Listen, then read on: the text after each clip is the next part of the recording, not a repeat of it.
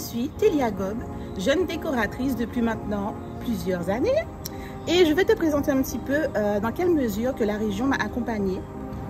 Il y a deux ans, j'ai eu un besoin particulier, c'est-à-dire que j'avais besoin d'avoir un lieu d'accueil pour ma clientèle. Ici, c'est mon bureau.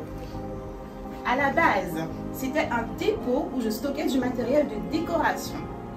J'ai dû tout refaire. Donc refaire la peinture, refaire le carrelage, acheter euh, tout ce qui est matériel, euh, ordinateur, m'équiper en logiciel, etc.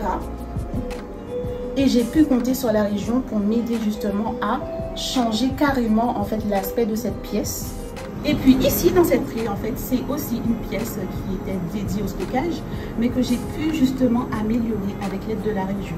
Alors ici c'est ma buanderie.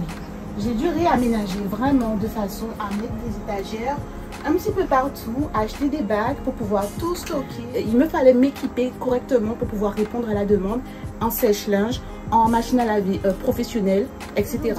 Je suis extrêmement touchée de pouvoir de nouveau compter sur la région Guadeloupe dans le cadre d'une autre activité qui est organisatrice d'événements.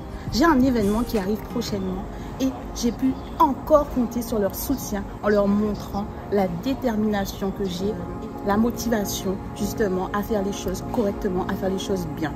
Parce que c'est très important de montrer qu'on est rigoureux dans ce qu'on fait et c'est ce que j'ai pu mettre en avant et ils m'ont entendu. Donc je remercie fortement la région Guadeloupe de m'avoir encore suivi sur ce projet. Que tu sois riche ou pauvre, c'est ton état d'esprit qui fera si tu deviens ce que tu veux être. Moi, j'ai dû travailler et m'améliorer jour après jour. J'ai dû me remettre en question mille fois pour arriver là où je voulais. Affronter les défaitistes et les négatifs. J'ai dû me bouger et transpirer car rien ne vient sans effort.